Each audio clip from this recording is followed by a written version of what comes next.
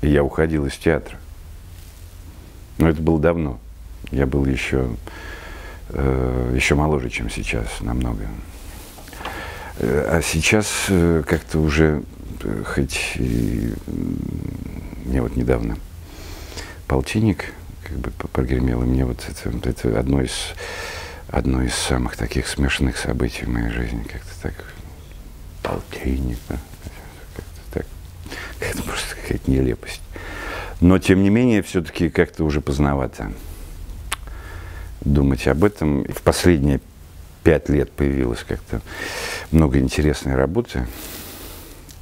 И это меня радует, радует и вселяет надежду. И сейчас нет, пожалуй, таких мыслей не приходит. У папы вчера был тяжелый день. В папу стреляли. Ой, каждый раз одно и то же. Стреляли, тяжелый день. Да я тебе больше не верю. Я когда-то эм, э, был такой период, закончил школу, потом как-то по недоразумению поступил, здесь учился в институте водного транспорта, кстати, на, на одни пятерки высшая математика, все дела. Но мне нравилось это все раньше, да. И, но потом я, так случилось, что мне пришлось уйти в академ отпуск, и я попал на свой, э, вот, э, там вот в Орше, откуда я, где я учился, где я родился, и вот учился, учился в школе. Э, там такое одно из градообразующих предприятий, ну, комбинат, там, где мои родители всю жизнь проработали. И я там полгода вот, работал слесарем. И там в три смены я не помню, в три смены я работал, но, но в две, по крайней мере. И, это, и я тогда думал, боже мой, что, как я хочу вот какую-то профессию, чтобы вот, вот, не, вот не с восьми до пяти. Вот как же я хочу. Ну, почему бы нет, вот, например, вот, э, вот что мне нравится в этой профессии. Да, в 2012 году, когда мы выпустили «Врага народа», я на банкете после спектакля спел э, песню. Я могу чуть-чуть э, да, напеть. Снова туда, где я не герой, Где я в лучшем случае только второй. В пьесу ныряю, как в воду пловец. Зритель, смотри, здесь я снова подлец. Убийца, мздоимец, прихлебатель, злодей, Лакей, проходимец, вор, слезняк, лиходей.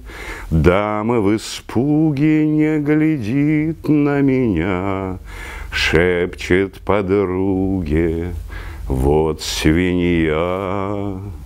Я бы рад аксельбант напялить И отвагу и честь прославить. Вот представьте, я весь в белом барабанный мятеж стонет зал, Но зовет помрежь, слезу роняю и так далее. Э, и как-то меня услышал Лев Абрамович.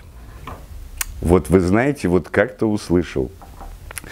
И после этого я действительно в кино, как-то до этого я иногда играл, ну, грубо говоря, не, не отрицательных персонажей, сложных каких персонажей. Ну, здесь тоже были такие, как бы, подлецы сложные, э, но все-таки, ну, так грубо говоря, с, с, как бы со знаком в ту сторону.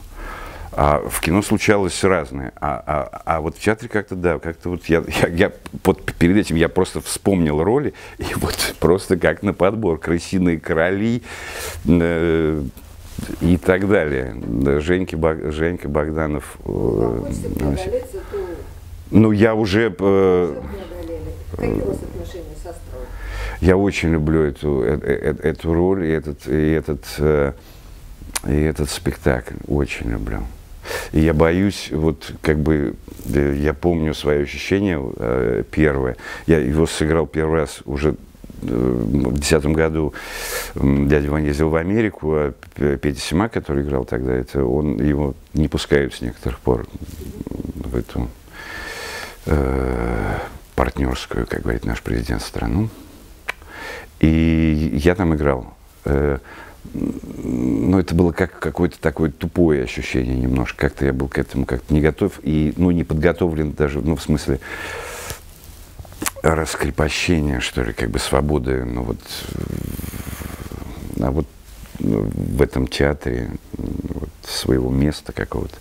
А сейчас как-то я вот первые спектакли очень остро это ощущал, это было очень сильно. Я боюсь, как бы вот, чтобы вот не затаскать это, это ощущение сейчас со временем. Хотя есть проблемы, спектакль уже, ну, так, э, уже очень э, взрослый, и и поскольку я велся, тут, тут тоже, с одной стороны, было какое-то сильное ощущение и такое острое, но, пос, но э, поскольку я там не, особенно не, не, не копался, не, не, не расширял рамки, то сейчас вот возникает уже иногда такая проблема, хочется куда-то как бы ну, мозгом, разумом как-то заглянуть, подумать про какие-то какие-то возможные варианты ходы Э, обогащение, там, расширение. Э, ну, это возможно, это возможно, но, но, но структура. Роль мечты. Я, я, вот недавно про это думал, не сказал бы, это может быть что-то очень неожиданное. Мне хочется что-то вот очень неожиданного, что-нибудь такого, ну, ну эксцентричного. Я, я, я люблю эксцентричное. А? Может быть даже, да может быть, даже. А вы застенчивый артист? Э, я застенчивый человек. Э, а, да. А, а артист нет, пожалуй, нет. Я, я ну, в, в определенных условиях с определенными людьми, э, которые, если мы доверяем друг другу, я могу раскрыться. И можно меня даже немножко так Потише, потише. Драматургов. Вот неожиданно же вот Чехов стал вдруг. Угу. Я тут рассказы перечитал, какой. Я вот сейчас взял три Чехова, перечитайте что-то.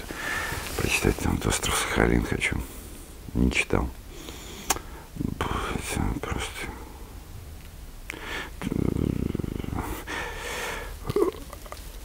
пьесы, да, это все очень интересно, но это так, эм, это можно и так, и сяк, и по-разному, и пятое, и десятое. А когда рассказ, когда он написан, и когда там есть абсолютная авторская мысль и образ, это, и с этим тут ничего не поделаешь, и это просто это какой-то, что-то, я тут скучную историю, я просто, я, я, я, я с ума сошел просто.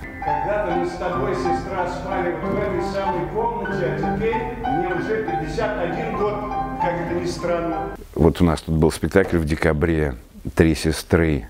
Это было что-то грандиозное.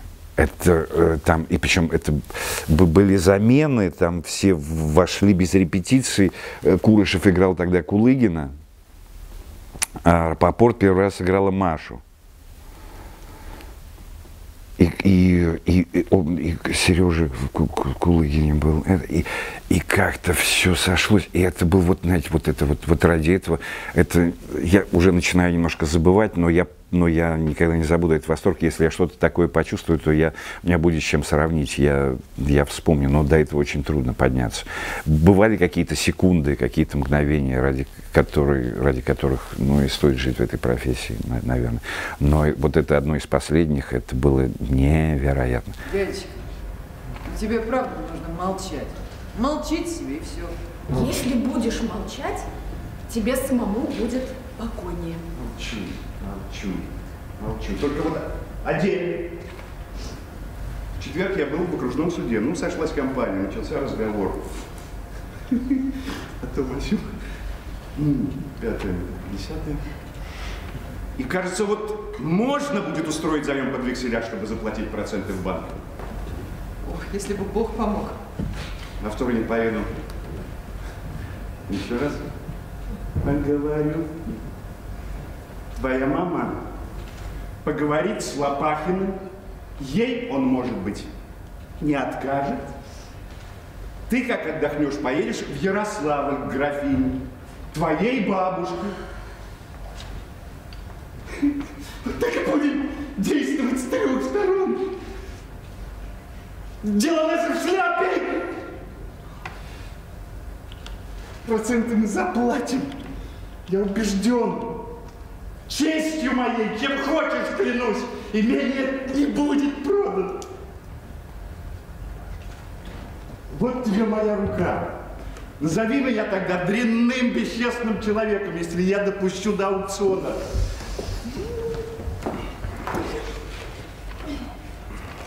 Всем существом моим клянусь.